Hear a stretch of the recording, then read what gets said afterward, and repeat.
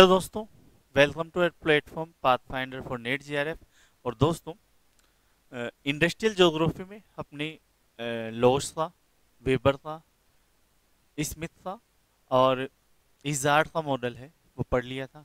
एक अपना मॉडल है हुवर का। वो अपना थोड़ा सा शेष रह गया था, जिसे हम आज पूरा कर लेते हैं। तो जो हुवर का मॉडल है है ना? हुवर अमेरिकन अर्थशास्त्री थे, और इन्होंने the location of economic activities नामक अपनी पुस्तक में अपना एक औद्योगिक अवस्थिति का सिद्धांत है, वो दिया, जिसे हम न्यूनतम लागत सिद्धांत भी कहते हैं। और इन्होंने वेबर का जो सिद्धांत है, उस वेबर का जो सिद्धांत, जो सिर्फ़ आपके परिवहन लागत पर फोकस करता है, ध्यान देता है, उस परिवहन लागत वाले सिद्धांत में थोड़ा सा परिवहन लागत में भी सुधार किया परिवहन लागत किस तरह से चेंज होती है।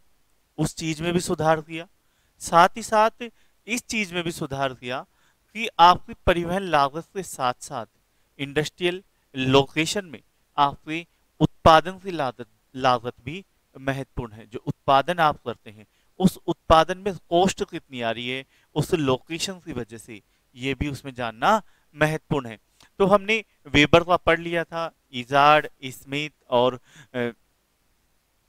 लॉस मॉडल हमने जब पढ़ लिए थे तो इतना सा तो हमें आइडिया है कि आपका उत्पादन लागत क्या होती है, परिवहन लागत क्या होती है है ना? और भी नहीं आपका तो आप मुझे बता सकते हैं। तो ये अमेरिकी अर्थशास्त्री हुवर, जिन्होंने अपना औद्योगिक अवस्थिति सिद्धांत है, वो दिया था। और इसमें इन्होंने दो चीज़ों पे ध्यान दिया, परिवहन लागत और दूसरी उत्पादन लागत। परिवहन लागत की जब ये बात करते हैं तो ये बोलते हैं कि परिवहन लागत सही बात है, कि परिवहन पर डिपेंड करती है, पर परिवहन दो तरह से होते हैं। और परिवहन वो दो तरह कौन से होते हैं? किसी भी वस्तु को कच्चे माल को फैक्ट्री तक लाना, ठीक है तो कच्चे माल की परिवहन लागत, फिर उसे बनाना, उसमें बनाने में उत्पादन लागत, और तीसरा उसे फैक्ट्री से वापस वहाँ पर भेजना, बाज़ार तक भेजना। तो तैयार माल को भेजने की लागत जो रॉ मेटेरियल है, उसे मंगवाने की लागत और जो फिनिशिंग प्रोडक्ट्स है, उसे बनाने की लागत।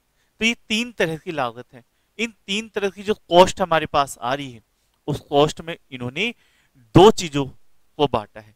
एक तो परिवहन लागत और दूसरा उत्पादन लागत।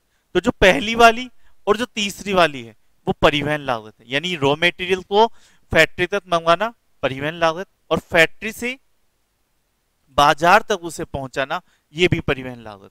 लेकिन आपके जो बीच वाली है, जो उत्पादन लागत, जो फैक्ट्री में जो सब कुछ हो रहा है, वो उत्पादन लागत में शामिल हो, ठीक है? तो इस तरह से इन्होंने अपना एक सिद्धांत दिया है। चलिए इसे समझने का प्रयास करते हैं। हुबर ने औद्योगिक अवस्थिति सिद्धांत दिया अमरीकी अर्थशास्त्री थे। इन्होंने अपनी बुक जो 1948 में लोकेशन ऑफ़ इकोनॉमिक एक्टिविटीज़ दी, इस बुक में न्यूनतम लागत सिद्धांत उद्योग की अवस्थिति से संबंधित इन्होंने दिया था। ये क्या बोलते हैं? इन्होंने वेबर के परिवहन लागत में सुधार किया, साथ ही साथ उत्पादन लागत को भी इसमें शामिल किया और इन्होंने ये बताया कि जो वेबर ने परिवहन लागत में ध्यान दिया था, वो सिर्फ़ कच्चे माल पर ध्यान दिया था, बाज़ार तक पहुँचाने में उसमें बहुत कम ध्यान दिया था और उसका सिर्फ़ एक ही उद्देश्य था कि परिवहन लागत, दूरी और भार के साथ बढ़ती है, लेकिन इसने, इन्होंने उसमें भी संशोधन किया था। तो इन्होंने क्या बताया कि उद्योग में जो लगने वाली लागत है, वो तीन तरह से होती है, जो अभी हम पढ़ रहे थे। कच्ची सामग्री को एकत्र करने संबंधी लागत और उत्पादन सामग्री को उत्पादन प्रक्रिया संबंधी लागत और तीसरी है उत्पादित वस्तु को मान क्षेत्र यानी बाज़ार तक पहुँचाने की लागत। तो पहली और तीसरी आपकी जो है वो कौन सी है? परिवहन लागत। और दूसरी जो है, वो आपकी कौन सी है? उत्पादन लागत। पहली और तीसरी परिवहन लागत और जो दूसरी है, वो आपकी कौन सी है? उत्पादन लागत है। अब जो परिवहन लागत है, परिवहन लागत दो चीज़ों पे डिपेंड करती है। कौन कौन सी चीज़ों पर? कच्ची सामग्री के एकत्रीकरण में, ठीक है? जहाँ पे कच्ची सामग्री को हम इकट्ठा कर रहे हैं, यानी फैक्ट्री में। कच्ची सामग्री को या रॉ मेटेरियल को हम जहाँ पे इकट्ठा करते हैं, उसमें जहाँ न्यूनतम लागत आएगी तो हम वहीं पे उद्योग स्थापित करेंगे। यानी जब परिवहन में एकत्रीकरण में लागत बढ़ती जाएगी, दूसरे क्षेत्रों में ले जाने में, कच्ची जो रॉ मेटेरियल है, उसे दूसरे क्षेत्रों में ले जाने में, है ना, लागत है, वो बढ़ती जाएगी कॉस्ट बढ़ती जाएगी तो वैसे वैसे क्या होगा, जो उद्योग है, जो इंडस्ट्री है, वो आपका रॉ मेटेरियल के पास आना प्रारंभ हो जाएगा। तो जब कच्ची सामग्री में एकत्रीकरण की लागत है, वो प्रभावी रहती है, यानी वो जैसे जैसे आप दूर जाते जाएँगे, ये बढ़ती जाएगी तो इसे हम न्यूनतम करने का प्रयास करेंगे और जब हम इसे न्यूनतम करने का प्रयास करेंगे तो कच्चे माल के पास रॉ मेटेरियल के पास उद्योग वो स्थापित होगा। लेकिन जब हम उत्पादित वस्तु को बाज़ार तक पहुँचाने की बात करते हैं तो हम इसे भी न्यूनतम रखने का प्रयास करते हैं और ऐसी स्थिति में उद्योग कहाँ पे स्थित होगा बाज़ार के पास स्थापित होगा तो ये तो समस्या वाली बात आ गई। ठीक है? कि हमें ये भी करना है, हम उसे न्यूनतम करेंगे तो बाज़ार के पास होगा स्थापित। और अगर हम रॉ मेटेरियल को कलेक्शन करने की बात करते हैं, उसे एक स्थान पर फैक्ट्री में लाने की बात करते हैं तो उसे भी जब हमें न्यूनतम करना है तो फैक्ट्री हमारी वहाँ पे स्थापित होनी चाहिए रॉ मेटेरियल के पास स्थापित होनी चाहिए। तो ऐसी जो स्थिति है उस स्थिति में क्या किया जाए? है ना? कि दोनों ही प्रकार की समस्या है हमारे पास। हमें तो क्या चाहिए? हमें तो कच्चे माल के पास भी चाहिए रॉ मेटेरियल के पास में भी चाहिए। क्यों? क्योंकि हम वो एक्स्ट्रा चार्ज नहीं देना चाहते और हमें बाज़ार के पास भी चाहिए। लेकिन ऐसी संतुलन की स्थिति तो आनी ही है, जहाँ पे क्या हो? उद्योग को दोनों में ही न्यूनतम देना पड़े। तो उसी कंडीशन को बचाने के लिए हमारा यह सिद्धांत है, वो और दोस्तों क्लास को कंटिन्यू करें। इससे पहले मैं आपको कुछ इन्फॉर्मेशन बताना चाहूँगा। आप अपनी जर्नी को पाथफाइंडर रिफाइंड लर्निंग सेंटर के माध्यम से स्टार्ट कर सकते हैं, जिसके माध्यम से आप NET JRF SET PGT DSSB college lecture school व्याख्याता और फ़र्स्ट ग्रेड की तैयारी है वो प्रारंभ कर सकते हैं और अपने डेस्टिनेशन पर पहुँच सकते हैं दोस्तों। दोस्तों, आप अगर पाथफाइंडर लर्निंग ऐप के माध्यम से प्रिपरेशन स्टार्ट करते हैं तो आपको लाइव और रिकॉर्डेड क्लासेस मिलती है। साथ ही साथ आपको डेली चार घंटे से ज़्यादा की जो क्लासेस हैं, वो भी अवेलेबल रहती है। और फ्री नोट्स आपको प्रिंटेड नोट्स है, वो ज्योग्राफी के मिलते हैं, जो बुकलेट्स के माध्यम से हम यहाँ से आपको कोरियर है, वो करवाते हैं। उसके अलावा आपको फ्री टेस्ट सीरीज़ भी कंप्लीट कोर्स में अवेलेबल रहेगी। टेस्ट सीरीज़ अलग से भी अवेलेबल है, आप वहाँ ले सकते हैं। साथ ही साथ प्रीवियस ईयर क्वेश्चन पेपर भी सॉल्व करवाए जाते हैं दोस्तों। दोस्तों इसके अलावा अगर आप का सपना है नेट जीआरएफ करना तो दिसंबर 2023 से बेच के लिए बेच है वो स्टार्ट हो चुका है। रिसर्चर बैच जिनका सपना है नेट जेआरएफ करना, और इस रिसर्चर बैच में आपको पेपर वन और पेपर टू यानी जोग्राफी की लाइव और रिकॉर्डेड क्लासेस हैं, वो अवेलेबल रहती है। साथ ही साथ इसमें आपको डेली चार घंटे से ज़्यादा की क्लासेस रहेंगी। नोट्स हैं, वो आपको प्रोवाइड करवाए जाएँगे नेट जेआरएफ के नोट्स हैं। कंप्लीट नोट्स आपको प्रोवाइड करवाए जाते हैं। पेपर वन के नोट्स हैं, वो पीडीएफ के फॉर्मेट में मिलेंगे। साथ ही पेपर टू जोग्राफी के सत्रह बुकलेट है, वो हम यहाँ से आपको कोरियर करवाएँगे दोस्तों। इसकी जो प्राइस है टोटल वो कितनी है? पाँच हज़ार नौ सौ नब्बे रुपए प्राइस है दोस्तों। वन ईयर का इसमें सब्सक्रिप्शन रहने वाला है। टेस्ट सीरीज़ हुआ प्रीवियस ईयर क्वेश्चन पेपर हुए, सभी इसमें आपको अवेलेबल रहेंगे। साथ ही विद्यास्थली बेच उन दोस्तों के लिए है जो जिनका सपना है आरपीएससी फ़र्स्ट ग्रेड और साथ ही साथ स्कूल व्याख्याता पीजीटी डीएसएस भी तो वो दोस्त है, वो विद्यास्थली बैच ज्वाइन कर सकते हैं, जिसमें आपको लाइव क्लासेस मिलती हैं ज्योग्राफी के कंप्लीट नोट्स आपको मिलेंगी, और इससे जो प्राइस है वो कितनी रहने वाली है दोस्तों? चार हज़ार पाँच सौ रुपए मिनिमम प्राइस इसमें रहने वाली है।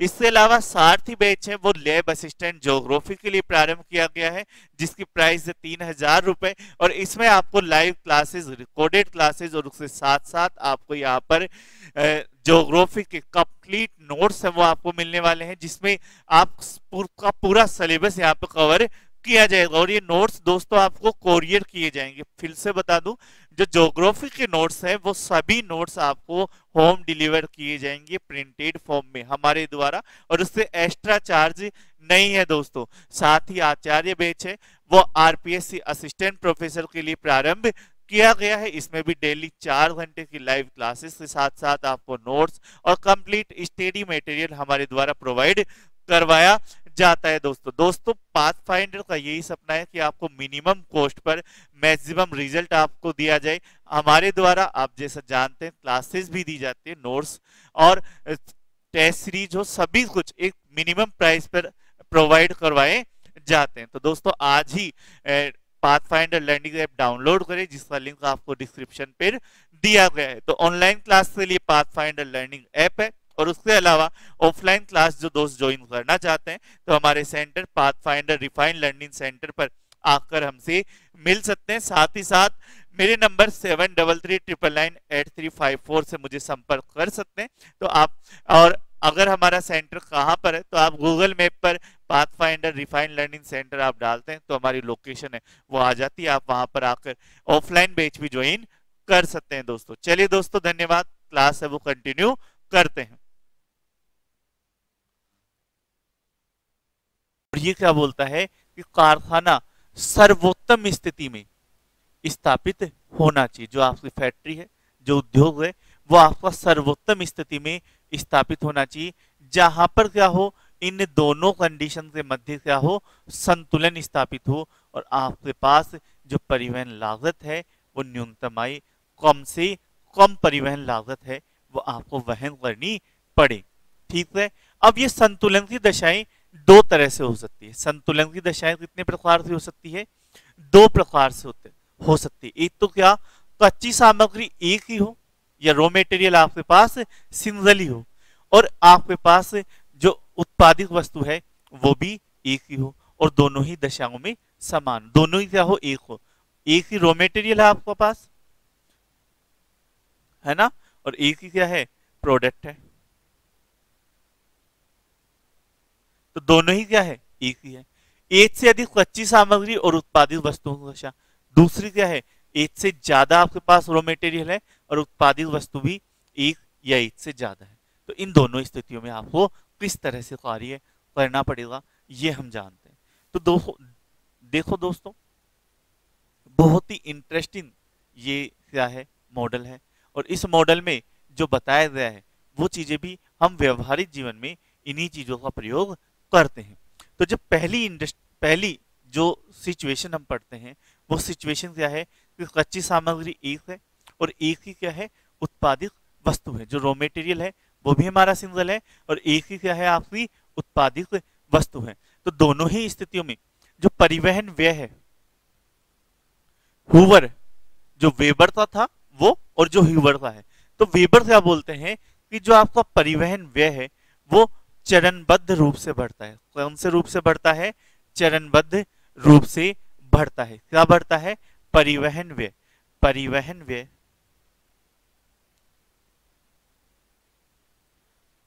ये हमने ट्रांसपोर्ट ज्योग्राफी थोड़ी सी पढ़ी थी।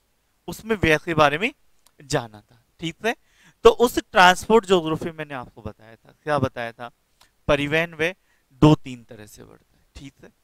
एक तो क्या हो? जैसे जैसे दूरी बढ़ती जाए वैसे वैसे बढ़े। ठीक है? ये हमारी दूरी है और ये हमारा व्यय है। ठीक है? अगर हम, मैं मानू कि एक किलोमीटर दो तीन, है ना? ये मैंने क्या माना? दूरी मानी, एक किलोमीटर दस रुपए, बीस रुपए, तीस रुपए। तो एक किलोमीटर जाने से दस रुपए, दो किलोमीटर जाने से बीस रुपए और तीन किलोमीटर जाने से तीस रुपये मुझे देने पड़ते हैं। यानी जैसे जैसे मेरी दूरी बढ़ती जाती है, वैसे वैसे मेरा व्यय बढ़ता जाता है। तो हमें पता है सामान्य जीवन में हम भी ऑटो लेते हैं, हम भी बस में जाते हैं, हम भी हर जगह जाते हैं तो हम ये देखते हैं कि ऐसा कुछ भी नहीं होता है। सामान्य जीवन में ये चीज़ें क्या है? देखने को नहीं मिलती। कि आप एक किलोमीटर के लिए जो चार्ज दे रहे हैं, वही आप दस किलोमीटर के लिए दें और वही चार्ज आप बीस किलोमीटर के लिए दें। वो चार्ज क्या होता है? सामान्यतः घटता जाता है। वो वो चार्ज क्या होता है? घटता जाता है। और ये ये जो ग्राफ है, वो किस तरह से बनता है? वो इस तरह से आपका बनता है। ठीक है? परिवहन व्यय, दूरी और व्यय। जैसे जैसे दूरी आपसे बढ़ती जाती है, व्यय में उस अनुपात में वृद्धि नहीं होती जिस अनुपात में आपसे वृद्धि होनी चाहिए। वो वृद्धि क्या है? सॉरी ये इस, थोड़ा सा इस तरह से बनेगा। ठीक है वो वृद्धि क्या है? धीरे धीरे कम होती जाती है। अगर हम ये माने तो एक किलोमीटर के लिए इतना दे रहा है तो दो किलोमीटर के लिए चार्ज कम होगा, तीन के लिए और भी कम होगा, चार के लिए और भी कम होगा।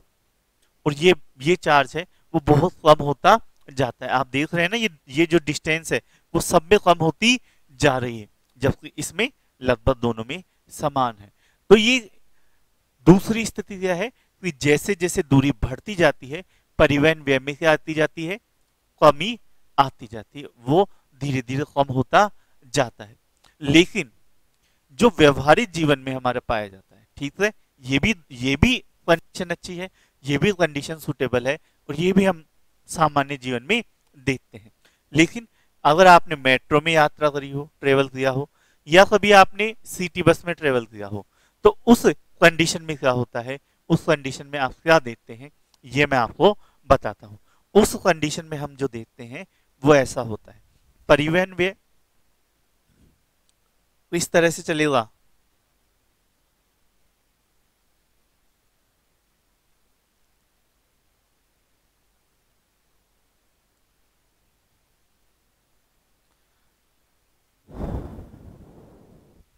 परिवहन व्यय आपका चलता है इस तरह से।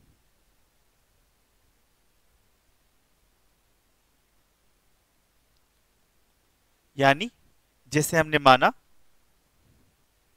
एक किलोमीटर के लिए दूरी दस रुपये चार्ज है, फिर ये बीस किलोमीटर चार्ज तीन किलोमीटर के लिए, ठीक है? फिर तीस रुपये चार्ज सात किलोमीटर तक। तो यानी ये क्या होता है? चरणबद्ध रूप से बढ़ता जाता है। आप क्या है? शुरुआती दस रुपये देते हैं। 10 से लेकर 20 किलोमीटर तक। दस सॉरी एक किलोमीटर ले से तीन किलोमीटर तक। सॉरी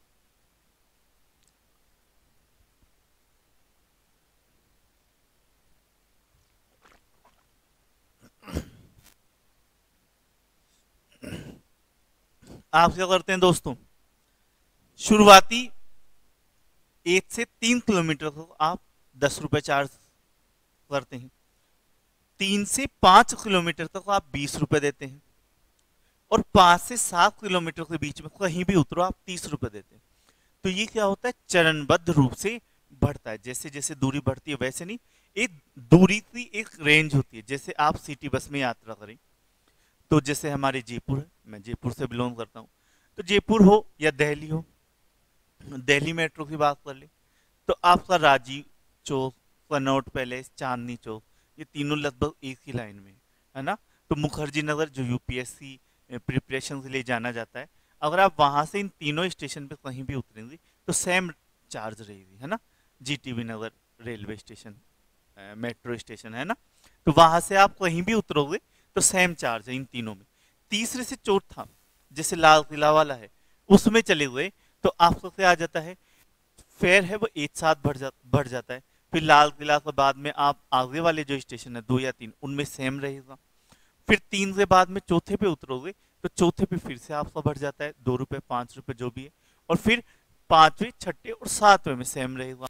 तो ये तीन चार स्टेशन में सेम रहता है, फिर बढ़ता है, फिर सेम रहता है, फिर बढ़ता है।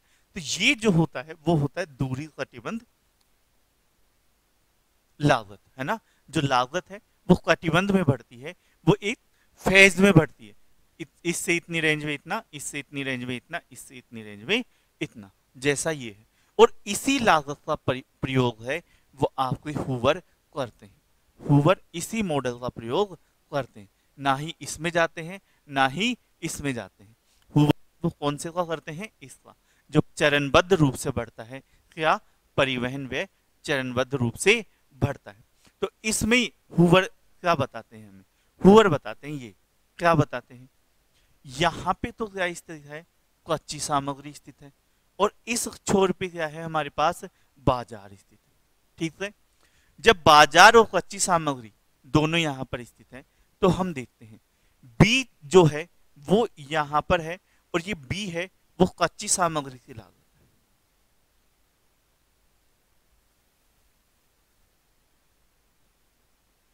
और ये तैयार माल। यानी अगर आप उद्योग है, वो कच्चे सामग्री के पास लगाते हैं तो इसे एकत्रित करने के लिए लागत है, वो कम आती है।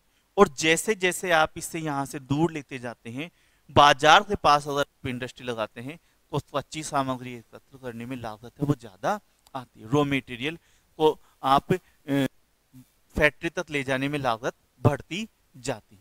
ठीक है एक हमारा प्रदर्शित करता है क्या? अगर आप बाज़ार बिंदु के पास उद्योग लगाते हैं इंडस्ट्री लगाते हैं तो आपका जो उत्पादित वस्तु है, जो प्रोडक्ट है, जो आपने बनाया है, उस प्रोडक्ट को बाज़ार तक पहुँचाने में लागत कम आती है। और अगर आप फैक्ट्री कच्ची सामग्री के पास लगाते हैं तो इस प्रोडक्ट को बाज़ार तक पहुँचाने में लागत ज़्यादा आती है। ठीक है ये दोनों चीज़ें बता रहे हैं। बी बता रहा है, तैयार माल को, वो रॉ मेटेरियल को एकत्र करने में तो अगर आप बी वाला है, वो रॉ मेटेरियल को दर्शा रहा है तो बाज़ार के पास तो रॉ मेटेरियल लाने में ज़्यादा लागत आएगी फैक्ट्री में, और यहाँ पे कम आएगी। और अगर तैयार माल है तो तैयार माल को बाज़ार में भेजने पर अगर आप बाज़ार के पास लगाते हैं तो कम आती है, और यहाँ पे लगाते हैं तो ज़्यादा आती है लागत, ठीक है? अब हुवर क्या बोलते हैं, हमें तो ऐसी स्थिति चाहिए जहाँ पे दोनों में न्यूनतम हो। जहाँ पे क्या हो? दोनों में न्यूनतम हो। तो हम क्या करते हैं? हम ए प्लस बी करते हैं। और ए प्लस बी करके हम एक लाइन खींचते हैं जिसका नाम है सी लाइन ठीक है? हम क्या, हमें क्या करना है? ए प्लस बी करना है। ए प्लस बी तो ए प्लस बी से हमारे पास सी लाइन आ रही है। ठीक है? जो इन दोनों का योग दर्शाती है। और हुवर ये बताते हैं, जो ये आपकी सी लाइन है सी का मान जहाँ न्यूनतम होगा?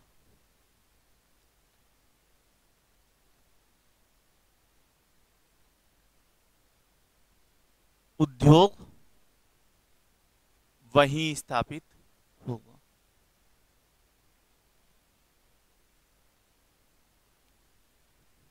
यानी आपको ये ग्राफ भी आता है कई बार, कुछ भी नहीं दिया जाता हुवर का मॉडल या कौन सा मॉडल है, बस ये ग्राफ आता है और आपको बताना होता है वहाँ पे सी का मान उद्योग है वो स्थापित होगा। तो अगर ऐसा ग्राफ आए और उसमें पूछे कि इंडस्ट्री कौन सी लोकेशन पे स्थापित होगी? यहाँ पे स्थापित होगी। डी पर। इंडस्ट्री है वो ई e पर स्थापित होगी। इंडस्ट्री है वो एफ़ पर स्थापित होगी। या इंडस्ट्री है वो जी पर स्थापित होगी। तो इनमें जिसका मान सबसे न्यूनतम है, वहीं पर आपकी इंडस्ट्री स्थापित होगी। तो जी जी की वैल्यू है, वो सबसे कम है, वापिस सारे ऊपर है तो जी पर ही आपकी इंडस्ट्री स्थापित होगी। ठीक है? तो आपको इस तरह से ये मान है, वो निकालने होते हैं। अब, इन आधारों पर, ये जो मान निकालना आ गया तो इंडस्ट्री कहाँ पे स्थापित होनी है? अब इस आधार पर, इस आधार पर हुवर क्या बोलते हैं कि इंडस्ट्री है, वो तीन जगह पर स्थापित हो सकती है। तीन जगह कौन सी? एक तो कच्ची सामग्री के पास तो कच्ची सामग्री के पास वो इंडस्ट्री स्थापित होगी जो भार वहन होगी। यानी जिसमें कच्चे माल में वज़न ज़्यादा है, तैयार माल में वज़न कम है। यानी कच्चे माल में वज़न ज़्यादा है।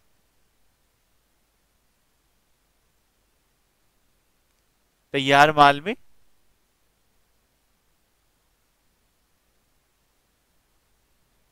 कम है। बाज़ार के पास कौन सी स्थापित होगी? बाज़ार के पास ऐसी स्थापित होगी जिसमें कच्चे माल में या रॉ मटेरियल में और तैयार माल में वज़न बराबर होता है। दोनों में क्या होता है? वज़न बराबर होता है। और मध्यवर्ती स्थिति, ये कौन सी होती है? जहाँ पे ट्रांजिशन कॉस्ट आपको देनी होती है, ज़्यादातर वो मध्यवर्ती स्थिति होती है। जहाँ पे आप एक जैसे आप तैयार माल ट्रेन से आ रहा और वो रॉ मेटेरियल ट्रेन से आ रहा है, तैयार माल आपको बस से भेजना ट्रक से भेजना है, सड़क से भेजना है या वायुयान। तो ऐसे जो पॉइंट होते हैं, वहाँ पे आपसे ट्रांजेक्शन कॉस्ट आती है। यानी एक परिवहन साधन से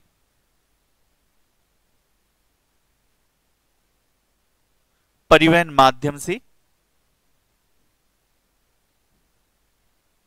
दूसरे में चेंज करने की स्थिति।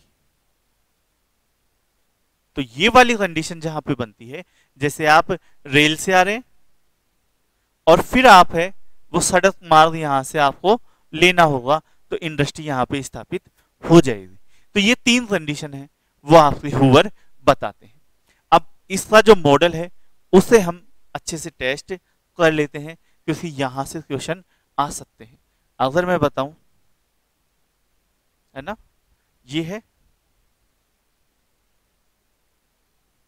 रॉ मटेरियल यहाँ पे है। बाज़ार बिंदु।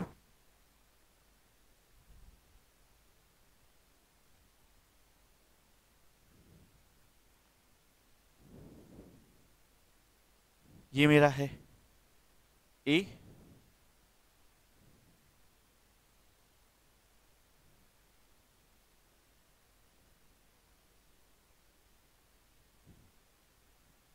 ये मेरा है बी।